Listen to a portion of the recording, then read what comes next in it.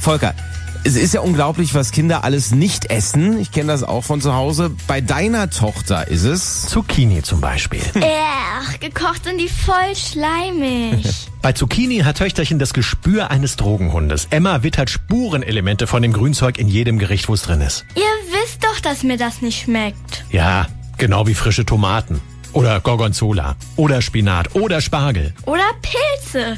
Warum gibt's überhaupt Pilze? Richtig blöd ist es, wenn du bei Freunden eingeladen bist. Töchterchen isst nix von dem, was serviert wird. Die Gastgeber bieten verzweifelt alles an, was Küche und Keller zu bieten haben, bis hin zum Butterbrot.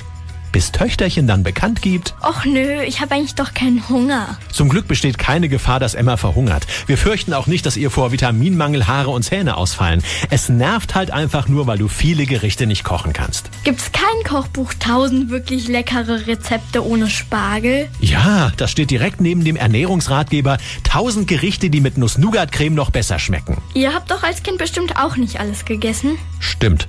Aber das würden wir natürlich nie zugeben. Meine offizielle Antwort, als ich in deinem Alter war, waren Gorgonzola und Spargel noch gar nicht erfunden. Papa, du bist so witzig. Wahnsinn Familie bei Hitradio FFH.